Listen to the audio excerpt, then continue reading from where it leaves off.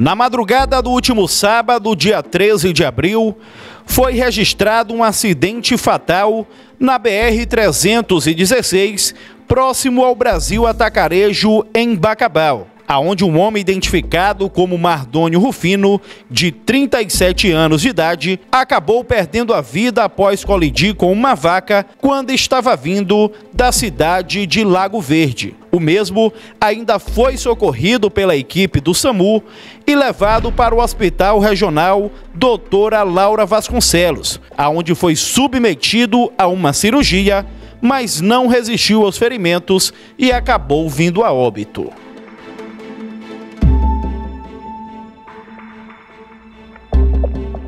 Nesse momento, a nossa equipe se encontra aqui na rua Rui Barbosa, no centro da cidade de Bacabal, onde é nessa residência que residia aí o Mardoni, né? Esse homem que acabou perdendo a vida após se chocar com uma vaca na madrugada deste sábado na BR-316 aqui em Bacabal. Como vocês estão acompanhando aí nas imagens, né?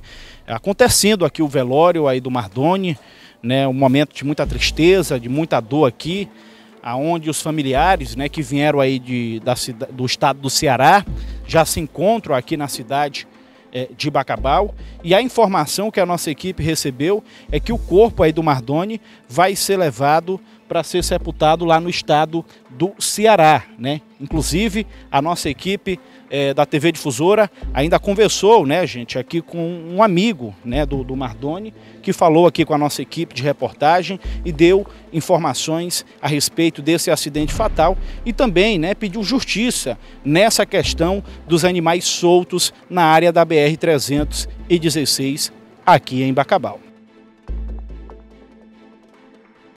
Nosso conterrâneo aí, né? Ele sofreu um acidente, bateu, né, numa vaca. Então queria fazer uma, uma denúncia gravíssima aqui em Bacabal que está acontecendo. Há muito tempo vem acontecendo isso, é, atrás do Carvalho, tem um cidadão lá, que eu não sei quem é. Ele tem, toda noite ele solta várias cabeças de, de gado. Entre umas 15 às 10. Então o rapaz aqui, que é conterrâneo da gente também, que é Ceará, né? Cearense, ele vinha à noite né, e bateu numa dessas cabeças de, nenhuma cabeça de, de, de, de, vaca, né? Ninguém sabe se era uma ou duas, mas isso é, há muito tempo vem acontecendo e, né, que a gente pede que as autoridades de Bacabal, né, ou a prefeitura, junta, juntamente com outros uh, competentes, competentes, né, e venha fazer, solucionar, né, dar um fim nesse baixo, porque toda noite esse solta essas cabeças de gado, e não é pouca, não é de 10, 15, e... Ninguém sabe o nome desse homem não? Aí, não, não né? ninguém sabe não. Mas é muita quantidade né, de gado, toda noite. Ele solta. O Mardoni, ele estava acompanhado? De onde é que ele estava vindo exatamente quando teria colidido? Ele estava vindo de Lago Verde. Lago Verde. Aí vinha de moto, aí chegando na ponte, para cá um pouco do Carvalho, e veio a colidir com a, com a cabeça de, de uma, vaca, né? uma vaca, né? A informação e... que ele foi levado para o hospital, ainda com vida, né?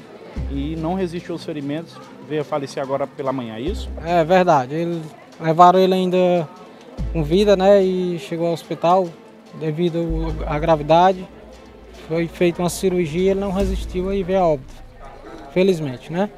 Um grande amigo, trabalhador, honesto, e é muito triste para a gente também, que somos amigos e para a família, né.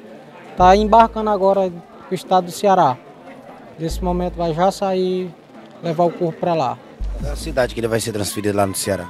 Parambu, Ceará. Parambu, né? É. Lá que ele vai ser sepultado, né? É, lá é onde a terra natal dele, né? A minha também, né? Eu sou de lá também, só que eu moro aqui há muito tempo. Então vai ser já transferido já já para lá. Ele trabalhava de quê aqui no município? Trabalhava aqui, ele, ele trabalhava com cesta básica. Cesta básica. Ele trabalhava com cobrança, né? Cobrador. Mas o rapaz. É aqui na zona rural, aqui na região, né? Rapaz muito direito, trabalhador. Infelizmente a gente teve essa perda, né? Devido, né, também o dono né, do pessoal que solta os animais, né? Deveria ter uma punição, né? De cada pessoa, né? Que isso é um crime grave, viu? Muito grave, um crime. Aconteceu com ele, pode acontecer com outras pessoas, viu? Então fica aí pessoal das autoridades comece a investigar e tomar providência, que a gente também não aguenta mais ver tantos animais soltos aí na pista e ninguém toma providência.